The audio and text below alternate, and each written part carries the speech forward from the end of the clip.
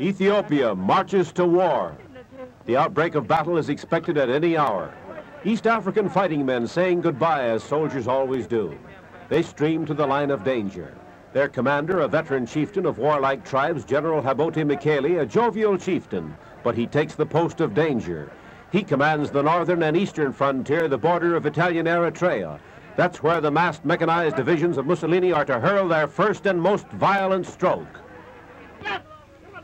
The Ethiopian Air Force ordered to the front, a handful of planes like this, to face modern air power. They're loading up with munitions and automatic rifles. The Ethiopian Air Force is not to fight sky battles with the Italian squadrons. It's only for communications and transport, to keep contact with the front lines like this.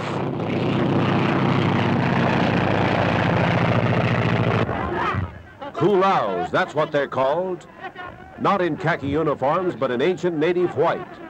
They're the night fighters of Ethiopia, the most dangerous and desperate battlers of the tribes, prowlers of the darkness, killers of the dusk, the furtive attack, the secret ambush, the way of the night fighters. No motorized warfare for them.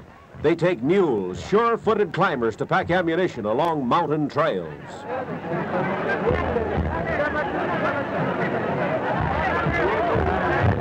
The night fighting Kulaus rush by train to the danger zone. The surest sign that Ethiopia believes the hour is at hand. Haile Selassie has been delaying national mobilization, hoping the League of Nations would enforce peace. But now the sun is bright, the sky is clear, the rainy season is over. The time has come for Mussolini's machinery of battle to drive into action.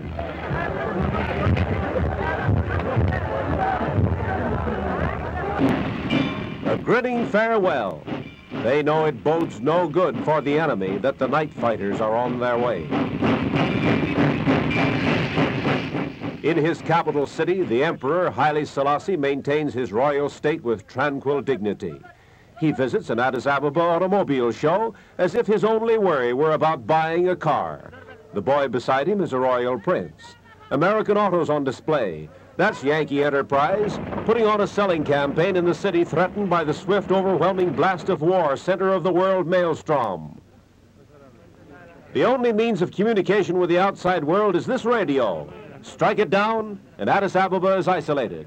And the Italians will try to strike it down at once. An instant target for the bombing planes will be this radio station.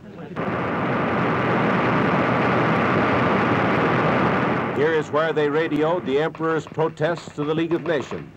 And right now, they're flashing Ethiopia's case to the powers of the world. They're talking about America, neutrality policy in Washington, declarations by Secretary of State Hull, American Charge d'Affaires Cornelius Van H. Engert. With him, the King of Kings discusses the American slant on the crisis. Because the rain clouds have gone, the war clouds are drifting near.